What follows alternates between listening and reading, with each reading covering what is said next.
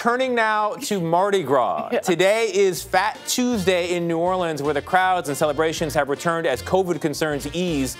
The city's traditions and culinary scene continue to evolve and reflect its many, many cultures. And for our series, The Dish, Jamie Wax discovered the growing influence and popularity of Vietnamese flavors in classic Louisiana food.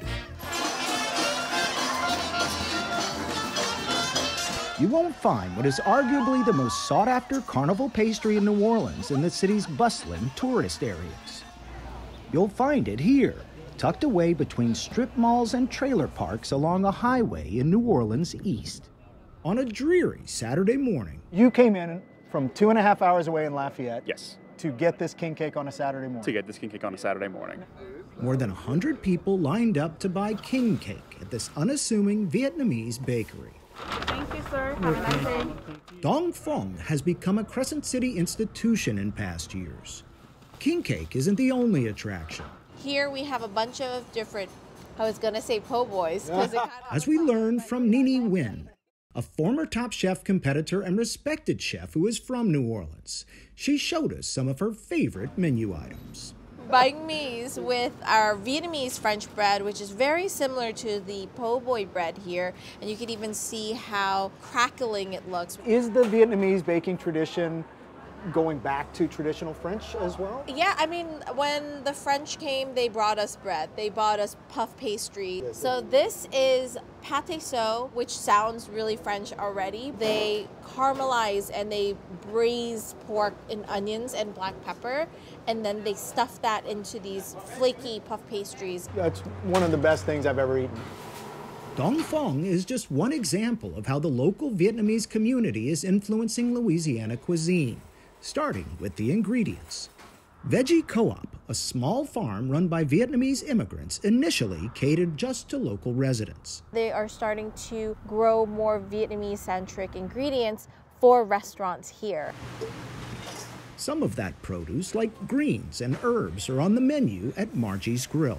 This is not a Vietnamese-owned restaurant, but it is sort of a fusion restaurant of Southeast Asian and Southern traditional cooking. What really drew such a large population of Vietnamese immigrants to Louisiana specifically? I could only speak for really my family. The seafood industry is huge here. Vietnam is such a coastal country. That is like the work that people knew how to do. My grandmother shucked oysters, my uncles made crab traps. My dad and his family deep sea fish. My grandmother fled in the 50s when the French left because of fear of persecution being affiliated with the French. Could you have imagined that Vietnamese culture and cuisine would have had such a big impact on this city where you grew up? No. Marjie's popularity is a prime example of that impact. So what they usually do is they get some kind of cut of meat, they barbecue it, and they'll serve it with lettuce and a bunch of herbs. And then this is just some grilled shrimp. I don't know how to eat pretty on camera. This is not meant to eat pretty, but it is eating delicious. As it began to drizzle, we made one last stop at Tan Dinh on New Orleans' West Bank for a traditional dish perfect for the weather a bowl of pho, a soup named for its flat rice noodles. This is our national dish, just a delicate but very complex broth with noodles and thinly sliced beef. You want something really flavorful that's stewed, that's cooked down. And the French taught us how to like make a like really nice clear stock, which is what you always want in a good pho. Pho shops are so popular here. You see so many different people coming um, and enjoying pho, and it's I think the busiest on Sunday mornings when everyone's hungover. Everyone in New Orleans kind of knows, like if you're not feeling well, a bowl of pho is yeah. just like it's it's the cure-all. but the hangover can wait until tomorrow. For today, it's Mardi Gras here in a city that's added yet another delicious culture to its rich recipe.